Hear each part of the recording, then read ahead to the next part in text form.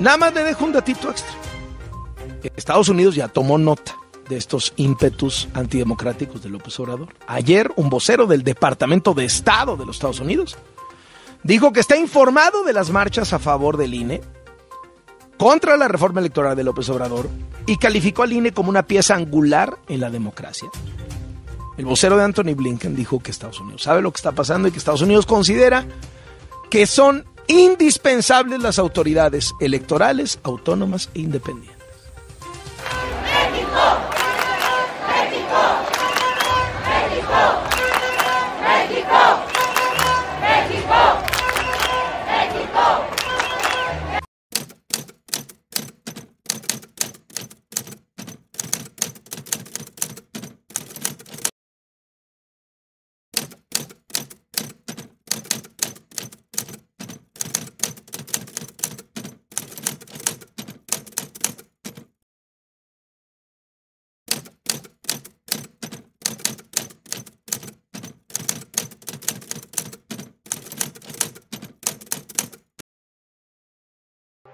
¿Se acuerda usted del caso del ex consejero jurídico de López Obrador, uno de los más poderosos del sexenio Julio Scherer, que fue acusado por el abogado Juan Collado de extorsión, en un caso que se enfrentó al fiscal general Alejandro Gertz con Scherer, pleitazo, se acusaban de corrupción los dos.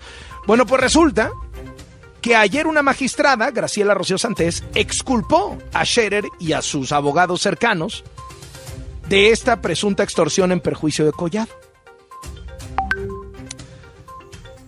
Vamos a ver si esto implica que ya hicieron las paces por mediación de López Obrador estos dos altos funcionarios, porque lo que dejaba mal parado el pleito Gerd Scherer era que los dos estaban acusando de corrupción y dejaba muy mal parado a López Obrador y al gobierno que no había hecho absolutamente nada. Vamos a ver si esto forma parte de una tregua, de un entendimiento de paz entre Gertz y Scherer.